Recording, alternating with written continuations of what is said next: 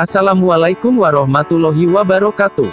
Hai semuanya ketemu lagi bersama saya di channel Pemburu Fakta News.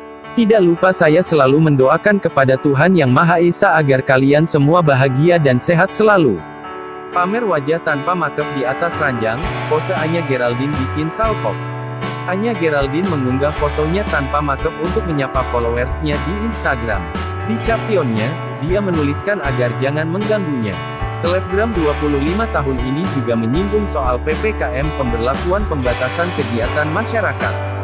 Buat pemain series Pretty Little Liars ini, PPKM berarti dia sehari-hari tanpa makeup. Do not disturb.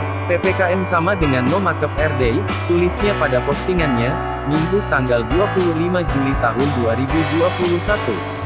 Namun siapa sangka kalau banyak netizen yang salah fokus dan mengomentari pose Anya Geraldine di atas ranjang itu.